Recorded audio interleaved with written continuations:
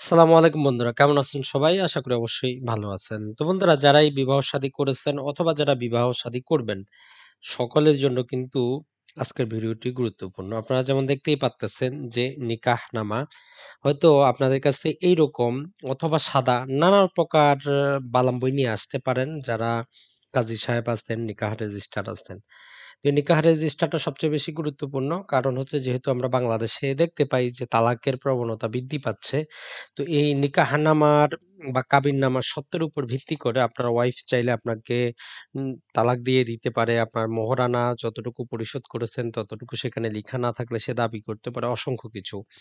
One by one আজকে আমরা দেখব যে আসলে কোথায় কি জিনিস আছে যে পঁচিশটি ধারা দেওয়া আছে সেখানে আপনারা কীভাবে পূরণ করবেন। যারা এখনও বিয়ে-শাদী করেননি বা ভবিষ্যতে করবেন, অবশ্যই আপনারা এই চুক্তিটা ভালো করে দেখার পরে সিগনেচার করবেন। অন্ধের মতো করে দিবেন না। তো মনে রাখবেন মুসলিম বিবাহটা একটা ধর্মীয় কাজ এবং ধর্মের মধ্যে একটা ইবাদতের মতো হলেও এটা আইনগতভাবে বাংলাদেশের আইনে একটা সিভিল চুক্তির মতো করে দেখা হয়েছে। এই জন্য আপনি ধর্মীয়ভাবে বিবাহ করলেও এক মাসের মধ্যে এই চুক্তিটা করতে হয়। এটা অবশ্যই রেজিস্ট্রেশন করতে হবে। না হলে কিন্তু শাস্তিযোগ্য অপরাধ আর শাস্তিটা পাবেন যিনি বিবাহটা করবেন। অর্থাৎ ছেলের কিন্তু সাক্ষী, শাস্তিটা হবে। তো এই জন্য অবশ্যই আপনার নিকাহনামা সম্পর্কে জানা উচিত। তো কথা না বাড়িয়ে আমরা আপনাদেরকে যেইটি দেখাচ্ছি এটা হচ্ছে সরকারের যে প্রেসক্রাইব ফর্ম আছে সেটা। তাই বলে আপনারা এরকম দেখবেন না। আপনারা হয়তো এই রকম ব্লু কালারে দেখতে পারেন। তো এটা কালার কোনো ফ্যাক্টর না। এটা জাস্ট একটা আপনারা সরকারি বিভিন্ন কাগজ কখনো হয়তো হলুদ, হয়তো কখনো আপনারা নীল, বেগুনি নানা প্রকার দেখতে পারেন। তো এটা যেটা বলা হচ্ছে ২০০৯ সালে সরকার যেটি করে যে মুসলিম বিবাহ এবং তালাক নিবন্ধন বিধিমালা নিয়ে আসে, যার ২৮ এর সাবসেকশন ওয়ান অনুযায়ী যেটি করা হয়, এই ফর্মটি দেওয়া হয়েছে। ১৯৭৪ সালে মুসলিম বিবাহ এবং তালাকের আইন আছে। তো মনে রাখবেন কোর্টে কোনো ম্যারেজ হয় না। আপনি বিবাহটা ধর্মীয়ভাবে করবেন নিজ বাসায়। তারপরে কাজী সাহেবের কাছে উনার অফিসে গিয়ে রেজিস্ট্রেশন করবেন অথবা বিবাহের অনুষ্ঠানে কাজী সাহেবকে নিয়ে আসবেন এবং আপনার বিবাহটি উনি পড়িয়ে উনি রেজিস্ট্রেশন করে নেবেন এটাই হচ্ছে নিয়ম। তো এক নাম্বার যে সেকশন আছে বা এক নাম্বার যে ধারা আছে এখানে আসলে কিছু বোঝার কিছুই নাই। সেটা হচ্ছে নাম ঠিকানা এটাতে কিছুই নাই। আর এক্ষেত্রে তিন নাম্বারটা হচ্ছে বয়ের বয়স, বরের বয়স এটাও কিছু নেই। ৫ নাম্বারটার ক্ষেত্রে একটু এখানে কন্যাকুমারী, বিধবা অথবা তালাকপ্রাপ্তা লেখা আছে। তবে হাইকোর্টের নিয়ম অনুযায়ী একটি রায়ের কারণে কুমারী শব্দের পরিবর্তে অবিবাহিত এবং বিধবা, তালাকপ্রাপ্তা আর এখানে যে সাব ক্লজ ঢুকিয়ে ছেলেদের ক্ষেত্রে অবিবাহিত বা তালাকপ্রাপ্ত কিনা সেটি ইনক্লুড করা হয়েছে। যদিও আমরা এখনও দেখতে পাই না। কারণ এগুলো একসাথে অনেক বালাম পাবলিশড করা হয়। এজন্য এখনও আপনারা হয়তো দেখতে পান না।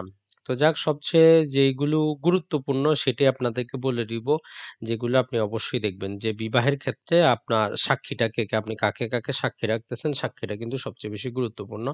কারণ অনেক ক্ষেত্রে নানা প্রকার প্রতারণার জন্য সাক্ষীরা কিন্তু আপনার পক্ষে যদি সাক্ষী দেয় আপনি বেঁচে গেলেন, বিপক্ষে দিলে কিন্তু আপনি নানা প্রকার কাজে আটকে যাবেন। তো সবচেয়ে গুরুত্বপূর্ণ যেটা সেটা হচ্ছে যে আমরা এখানে যদি আপনাদেরকে দেখি যে দেনমোহর, দেনমোহরের কি পরিমাণ মোয়াজ্জল, কি পরিমাণ মোয়াজ্জাল এবং কোনো পরিশোধ করা হয়েছে কিনা। এই তিনটি জিনিস সবচেয়ে বেশি গুরুত্বপূর্ণ। এগুলো ভালো করে দেখে নেবেন তো এগুলোর মধ্যে যেটা আপনারা দেখবেন সেটা হচ্ছে যে আপনার জাস্ট আমি হাতেও লিখে দিয়েছি যে দেন মোহর কি পরিমাণ। অর্থাৎ আপনি যে বিবাহটা করতেছেন আপনার দেন মোহরটা কত, যত তত সেখানে লিখা আছে কিনা। যেমন এই যে নিকাহনামাটার মধ্যে দেখুন এখানে আমরা যদি দেখি এখানে লিখা আছে যে দেন মোহরের পরিমাণ ৳৫,০০,০০০ নিচের দিকে দেখতে পারতেছেন ৳৫,০০,০০০ তো এরকম আপনারটি আপনি সিগনেচার করার আগে দেখে নেবেন যে সেখানে লিখা আছে কিনা। তারপরে ধারা ১৪ তে যেটা বলতেছে তারা সেটা হচ্ছে যে আসলে মোয়াজ্জল এবং মোয়াজ্জাল যে দুটো শব্দ ইউজ করা হয়েছে মোয়াজ্জল এবং আজ্জাল। এর মানে যেটা হচ্ছে যে আসলে মোহরানা যেটা সেটা দুই প্রকারের হতে পারে। একটা হচ্ছে তাৎক্ষণিক আর একটা হচ্ছে বিলম্বিত।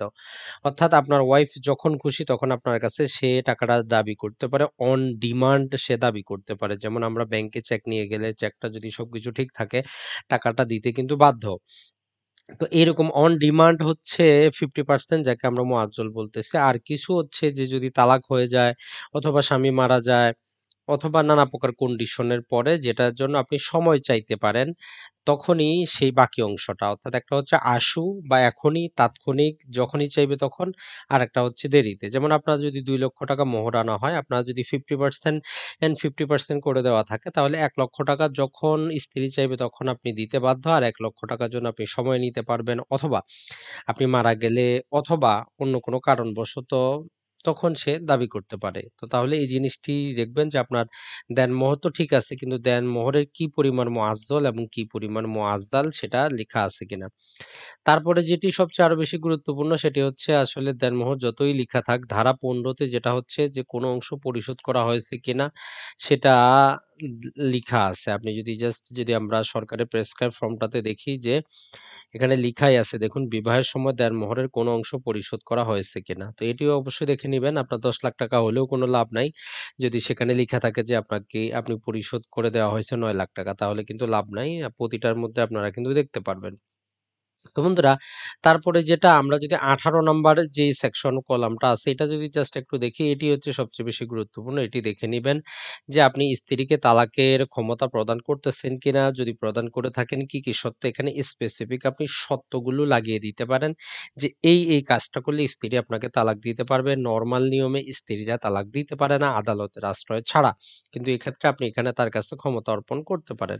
তারপর প্রচলিত বিভিন্ন যদি আমরা জিনিস দেখি তারা যেটি করে দেখুন বিভিন্ন কাবিন নামার মধ্যে যা লেখা থাকে যেগুলো পরবর্তীতে কিন্তু সমস্যা হয়ে যায় যে প্রচলিত আইন অনুযায়ী। এখন প্রচলিত আইনে কি আছে?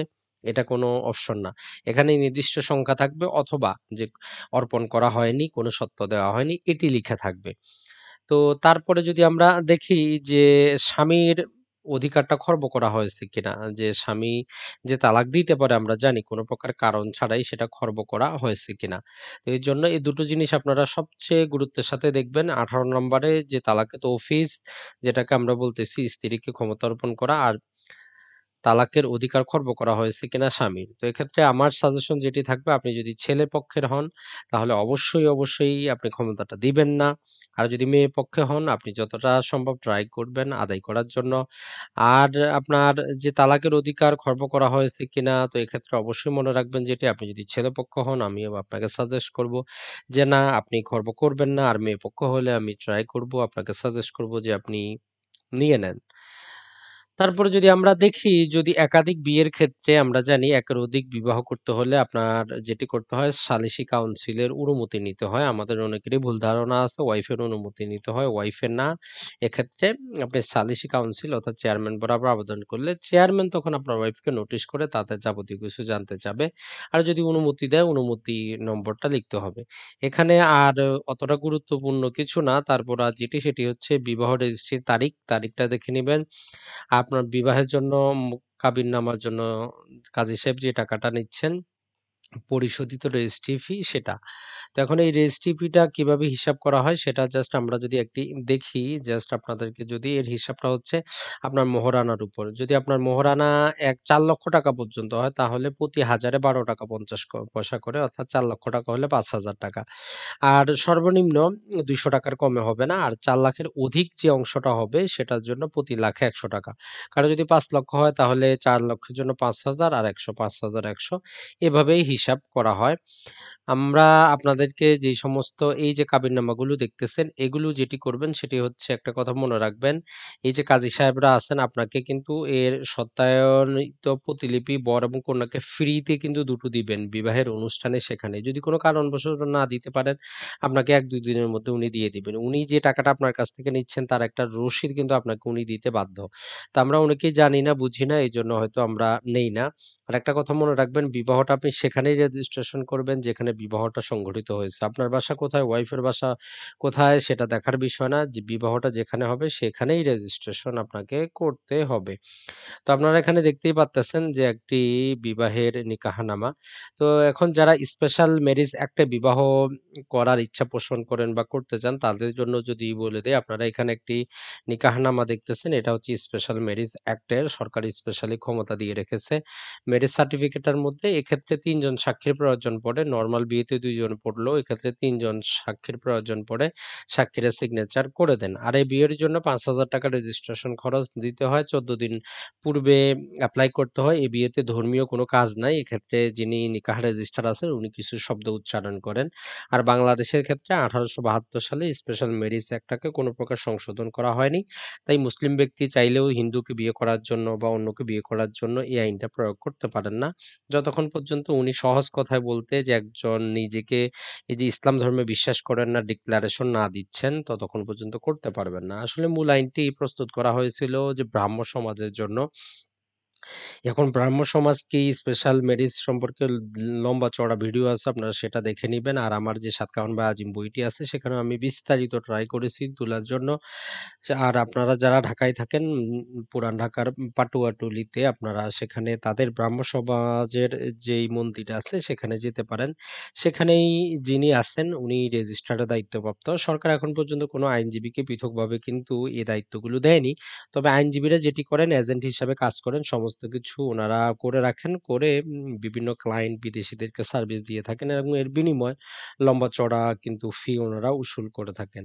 তো আশা করি আজকের এই ভিডিওটি আপনাদেরকে একটা কনসেপ্ট ক্লিয়ার করে দিল। যারা বিবাহ-শাদী করেননি বা করবেন, ভবিষ্যতে করার ইচ্ছা আছে বা ছেলে বা মেয়েকে বিয়ে-শাদী করাচ্ছেন এই জিনিসগুলো দেখে নেবেন কারণ এটার উপর ভিত্তি করে অনেক কিছু হয়। আর এই সমস্ত আমরা আপনাদেরকে দেখালাম নিকাহনামা, তালাকনামার ক্ষেত্রেও একই রকম যদি ছেলে এখন পর্যন্ত কোনো প্রকার কারণ ছাড়াই তালাকের নোটিশ দিতে পারে এবং ৯০ দিন পর তালাকটা কার্যকর হবে। কার্যকর হলে তখন সে রেজিস্ট্রেশন করবে।